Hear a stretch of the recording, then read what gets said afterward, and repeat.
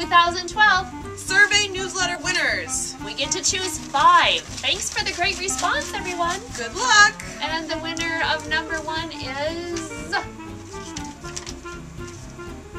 Christina Paris. Good job, Woo! Christina. Yeehaw. I'm not looking. Look. Susan Hayes. Good job, Congratulations. Susan. Your children, grandchildren would love zipping around on the ball